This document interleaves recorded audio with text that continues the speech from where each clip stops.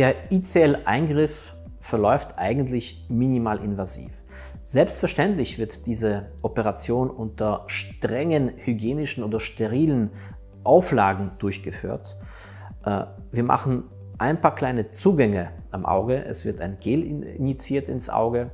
Äh, dann wird schon die ICL-Linse ins Auge reingeschoben und dann die übrig gebliebenen Gele werden abgesaugt. Äh, wie lange dauert die OP?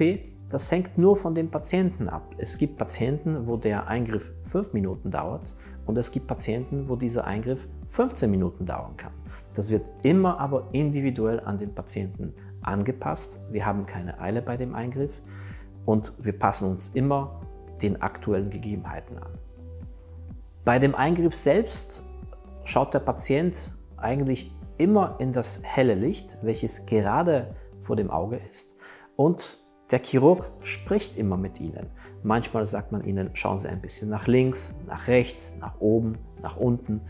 Durch dieses Gespräch ist der Patient beruhigt und wir erzielen die besten Voraussetzungen, um eine sichere Operation durchzuführen.